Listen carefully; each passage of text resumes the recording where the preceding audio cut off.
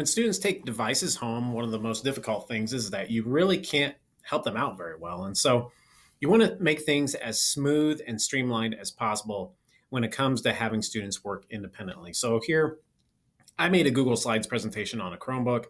Um, and if I sent this out to students via Classroom, they would have access to it, make a copy of it, and then they would be able to go through the lesson and whatnot. So I just have an article and some questions that they can answer throughout the Google Slides presentation.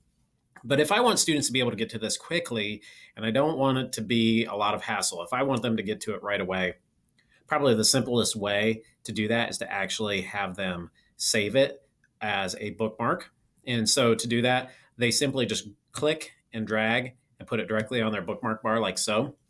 And that would allow them to just get to it quickly, respond. When they come back to school, then they can actually turn it in. Uh, this is also handy if they have issues with internet at home. They can be able to get to their slide presentation real quickly without jumping into the Files app and, and trying to dig around and find it.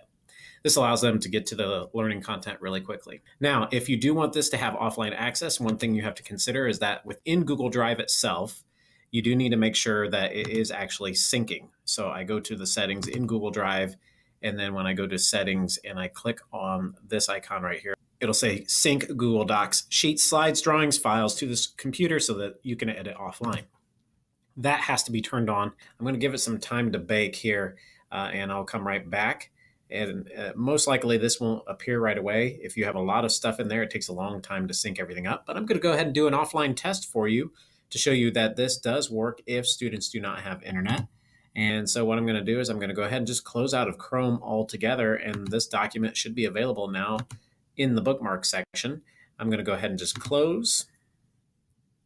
And then what I'm going to do is I'm going to go ahead and reopen Chrome. And it'll most likely come back and show my startup page because it's pulling it from the cache or the history. Okay, now that I have Chrome open, what I'm going to do is I'm going to now go off and turn off my Wi-Fi, like so. And actually, I should have done that before I even opened Chrome.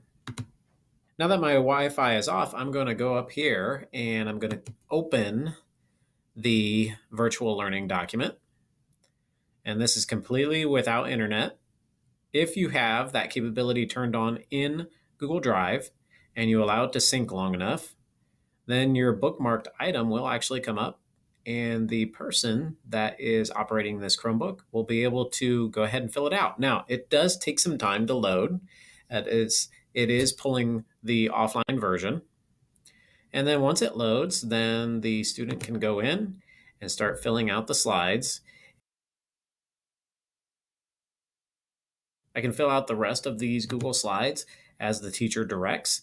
And then when I'm ready to get back to school and I hit the Wi-Fi, I'm able to go into classroom and turn it in. So it, this just goes to show that students are capable of being able to work on a Google Slides or a Google Docs presentation offline, and they can even just bookmark it. So that way they get easy access to it.